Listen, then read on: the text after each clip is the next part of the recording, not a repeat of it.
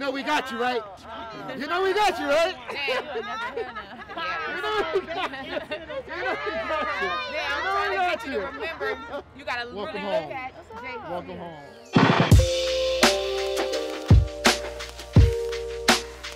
I'm just a kid from North Philly uh, who just love the game of basketball. Love the game of basketball.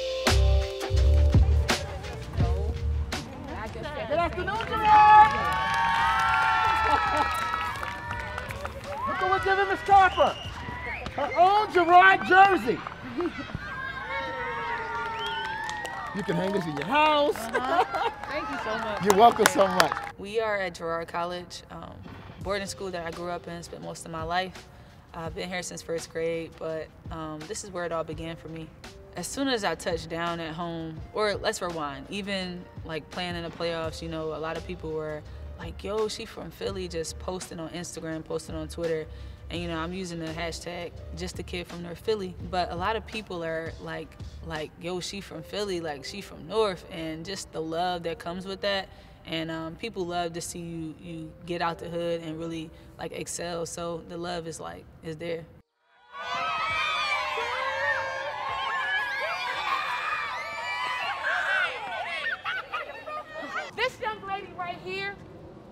Was your same age. She used to go here. She was in. She wasn't in this building in elementary. That I wasn't here. I was here. for the, your last Second, year. second grade, got here. Second Oh, grade. second grade. First grade, right was here. Right here. She started off in that building, but she was the same age as you.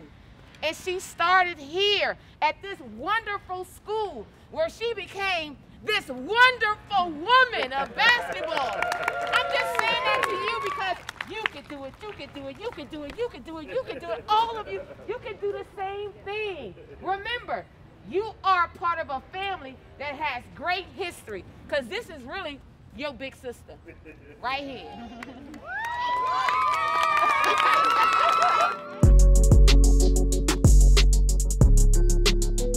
I think Philly Hoopers are different because we got this natural swag to us. We got this natural, um, just like, yeah, like she from Philly. Just the way we carry ourselves, super competitive.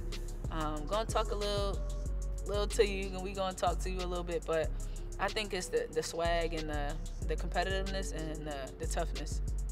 I grew up watching Dawn. You know, we from the same same hood. It's crazy because I, I grew up on 32nd and Berks, but when I was a little older, I moved to 23rd and Diamond, the Raymond Rosen Projects, and that's where Dawn is from. And you know, she grew up in Hank Gathers. I could just uh, watch her play, and then when I got older, you know, she was at Temple, so just to see her go from player um, to you know highest level WNBA Olympian and then into that coaching, I just admire her so much because of how smooth her transition was. You know, it's never that easy for everybody, but I think Dawn just paved the way for um, women's basketball here in North. I have so much respect for Dawn because you know she she made it out, but she never forgot where she came from.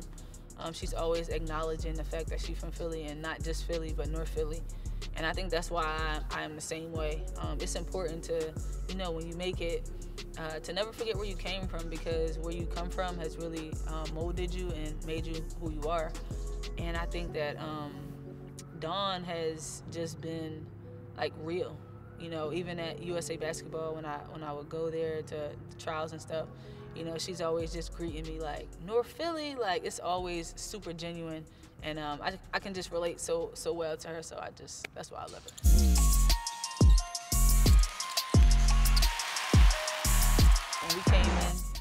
The Phoenix, we knew that they had just came off of, of a game five, you know, just playing. Some people were banged up, some people were hurt. Didn't matter to us.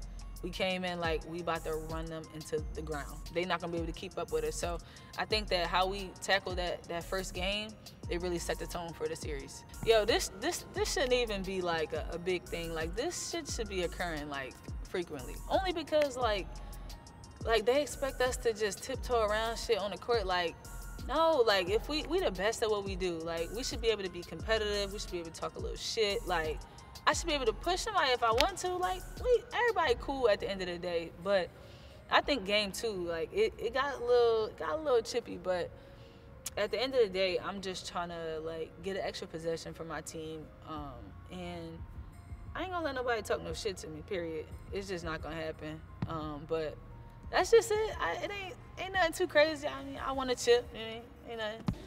So I think I was in first grade, and uh, Mr. Kaufman, we had um, got these little plates, and we were just making a portrait of ourselves.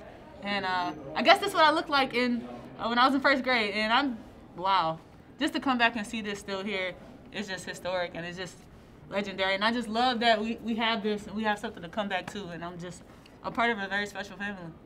Did you uh, did you imagine that when you made that drawing, that when you came back, you would be someone that could have such an impact for the students? Wow, didn't have a clue. Um, but to be able to come back and inspire young girls that look like me, is from where I'm from, uh, it's truly a blessing. First grade. What I used to look like. So somebody might come and see something that you do later.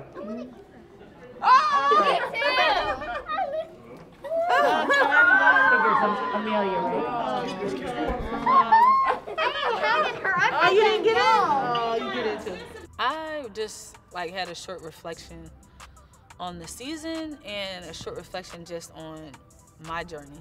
Um, I think that I wouldn't change anything. I wouldn't change the timing. I wouldn't change anything because you know you go through everything you go through for a reason. Everything happens for a reason. The timing, and uh, I just that short reflection was just like, like damn, like everything was worth it. Like every single thing that I, I went through was worth it. You know, back back to COVID before um, we knew we were having a bubble season. You know, I was sh- shooting in a fucking cafeteria. Like we was trying to figure out a way. Like I need to get in a gym. Like no, I need a gym. Like I got to go shoot somewhere. I got to go get better. I'm in the driveway hooping with my coach. Like, and I just think like I was really like I was really working. So I'm like shit. I deserve this shit. Like I I deserve it. So that short reflection was just like damn. Like I did that. This was a big year, a big season for me. Uh, first time All Star, uh, won a championship and Finals MVP.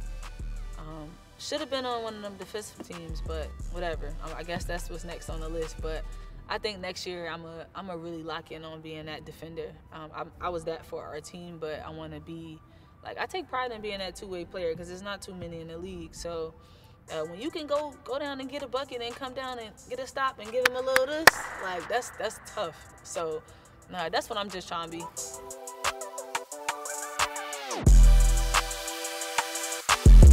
I'm I'm just a kid from North Philly uh, who just love the game of basketball, love my family, love my friends, um, big on loyalty, but uh, super quiet off the court, but dog on the court. Y'all gonna see it, but that's me. Can you can you put them on your lap, please? That's a good one. Look, Sonny. He's looking. Go, Sonny. Okay, all right. Oh no, I love it. No, I love it.